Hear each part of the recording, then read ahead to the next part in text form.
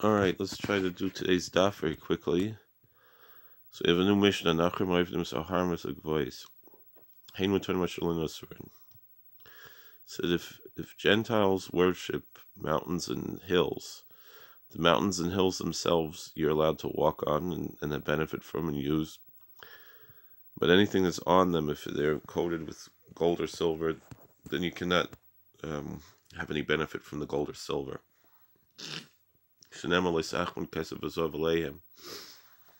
Like Deuteronomy 7 says you shouldn't uh, covet the silver and gold that is upon them. Elohim Elohim Elohim Elohim Elohim Elohim because it says that their gods are on the mountains, which means that the mountains themselves are not their gods. The mountains are on the hills, and the hills themselves are not their gods. Of Namash Asherah Asura. So how come, if that's the case, why is a a tree that's worshipped prohibited from benefit?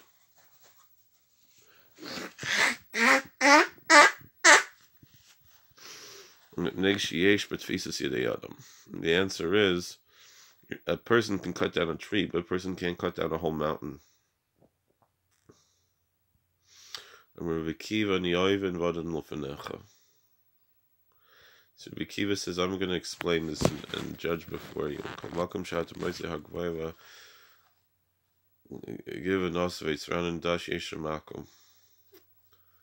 He said any place where you're going to find a high mountain and beautiful hill landscape, beautiful trees, you should know people worship idols there. So Gemara explains. The first opinion in the Mishnah, what we say is that Rabbi Yossi Glili, Lakish Har because we see that Rami Barchama said in the name of Reish Lakish that if the mountain was coated with gold or silver, that's considered like the mountain, the hill itself, Ikabenayu. So what's the difference between these two opinions? Tanna Kamma So the first opinion in Mishnah says that the covering of the mountain is not like the mountain, and so therefore it's separate from the mountain and forbidden from use. Meaning if it's a mountain that's worshipped. The mountain itself is not prohibited, but the covering of the mountain is, if it's coated in, in gold or silver. Rabbi Yossi Glili holds that the covering is also like the mountain, and so therefore it's per permitted in use. Uh, um, the Kulei Alma If Sheshis says according to all, uh, according to everybody, According to the Tanaim, the covering the mountain is not like the mountain. Right, we're on amud base, so three minutes in. This is the first amud was short, but the second was a little bit longer. But I think we should be able to get it done.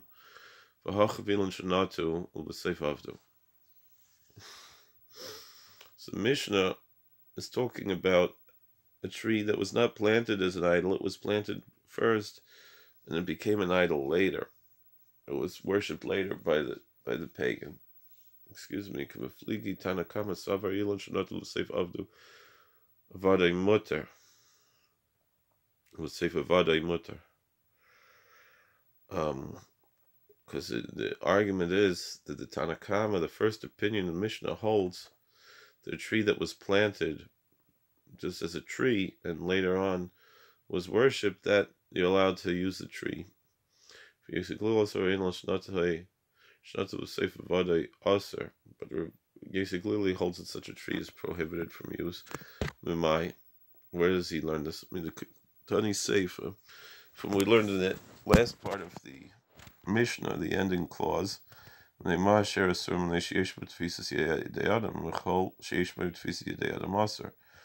whole reason why the tree that was worshipped is prohibited is because a, person, a human being could cut it down. So a mountain, a hill, a river, we could change it, but we can't like cut down the whole thing. The tree, a human being could cut down the whole thing.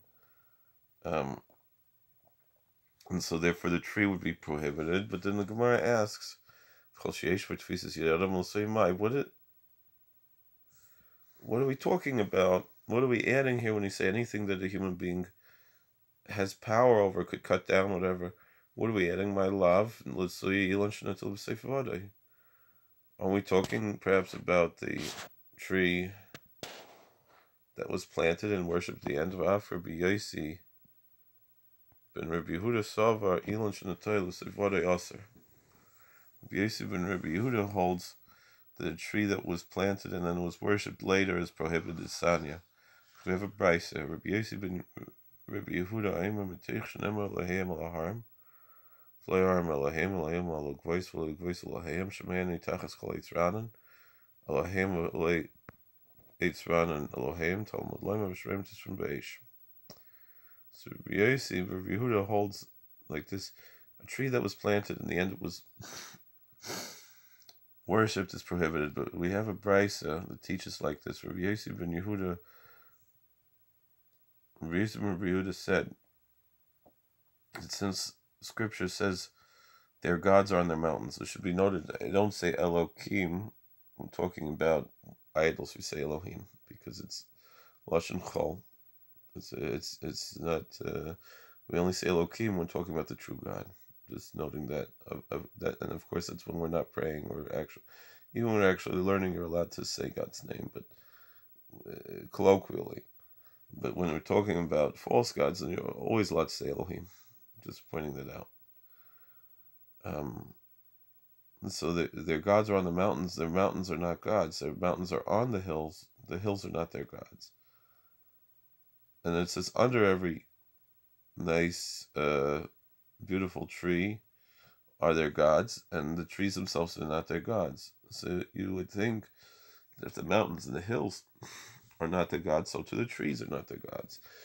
Just there's something there's some idol that's connected to the mountain or the hill or the tree, on it or on, under it. But the Torah actually says you should burn their asherah. The asherah means a tree that's worshipped. So why does Scripture say that they worship under every nice tree? Hahu le ke de Rabbi Kiva, hu de asa dam Rabbi Kiva ni oiven vad mun fnacha kamakum shat mai ze hak ah iva nasa veitzranen dashi shamakum.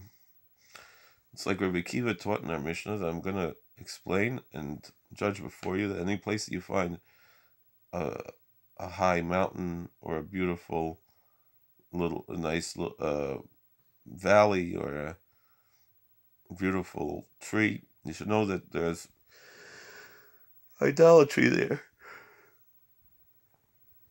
excuse me maybe not every tree is worship but sometimes under the trees they put idols Rabbanim so how do the rabbis understand this verse where it says, "And under every nice tree"? Hi Vashram is from the Aish. Like? How do we the rabbis deal with this verse? It says you should burn their asherah, which was understood to be an idolatrous tree, in fire. So they say that's specifically talking about a tree that was planted. When it was planted, the, the pagan's intention was for worship not a tree that was that grew on its own was planted earlier and then later was worshipped. Rabbi Yossi ben Rabbi Yehuda Nami Rabbi Yehuda. We also have to try to understand the Hachi. What is this Hachi Nami? Here too. For this Ella. Elon Shanatelu Seif. Where do we understand that a tree that was planted and was worshipped subsequently um, it's prohibited in Africa, like to Gedeon. Another verse about Asheras, about trees that are worshipped, that you should cut down their Asheras. So Ezahu H Geduai Aser Vikarim Mutter So when you cut down a tree, you still leave um, you know, a, a stump, right? And, and roots. So if you cut down the tree and it still has the roots, meaning if it was planted as an idol, so the roots should be prohibited. But here's a tree that it was you cut it down, the part you cut down, that's prohibited. But the roots or the you know that's still in the ground, that you could have benefit from. That would be a tree that was planted first and subsequently worshipped.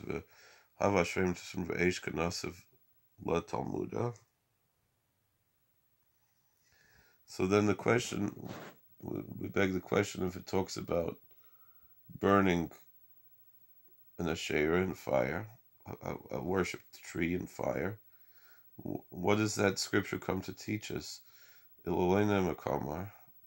If it wasn't said, we would say, so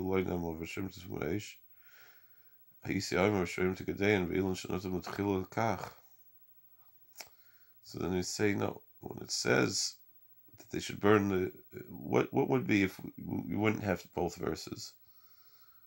So you would have thought, if it didn't say you're going to burn the, the the the trees in the fire, I would think that when it says cut down the trees, it's talking specifically cutting down the trees, a tree that was um, planted to be worshipped.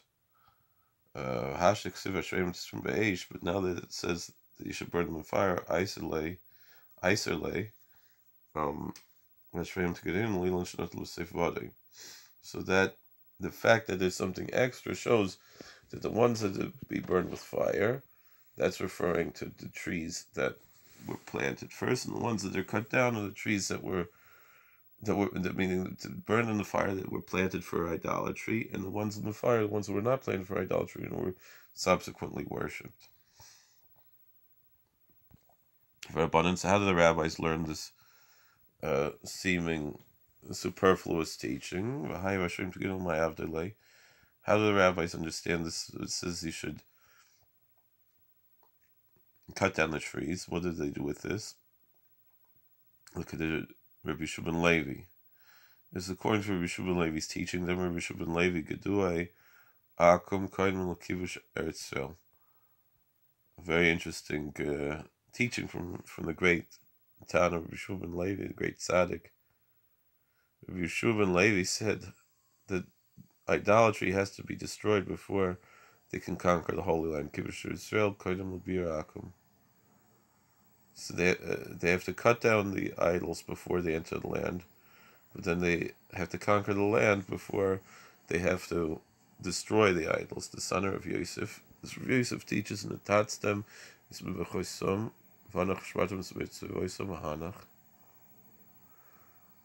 it says you should ruin their their uh, altars. But then further, it says you should break their altars. And it goes further. So what does it mean? They, they could rest. Strafer boy, they have to burn it. Amar Afuna Hanach. Or Daif. That once you they fulfilled this commandment, they have to chase after their uh, the, the Canaanites, and then once they're done fighting the Canaanites, that's when they burn all of the Canaanite altars. Rabbi Yossi Bar and Rabbi Yehuda, Haisfar, Rabbi Yossi and Yehuda has this idea, Manale. Where does he get this idea from? Nafkale Abed Tabdun. He understands it from Deuteronomy 12 where it says you should surely destroy it. First you destroy it, you lose it out, and then you destroy it again. You destroy it once, you destroy it again. So he learns the same halacha from a different verse. But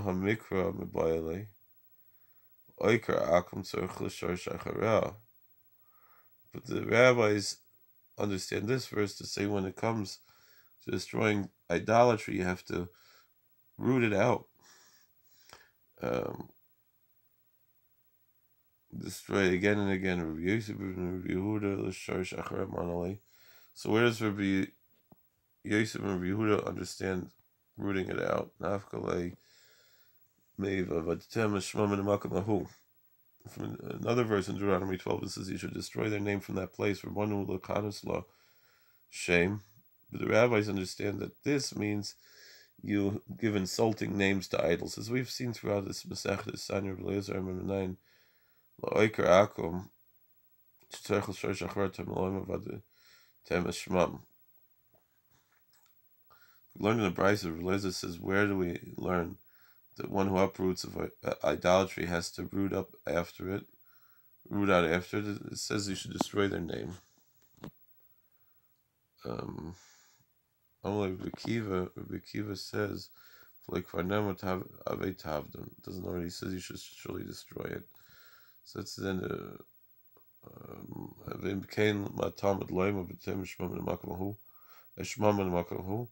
So what does it say you have to destroy their name from that place? L'chanis l'shem.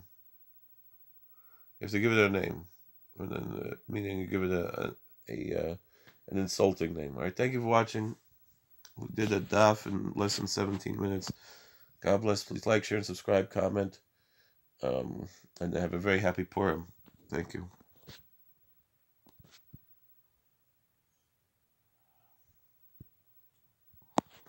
you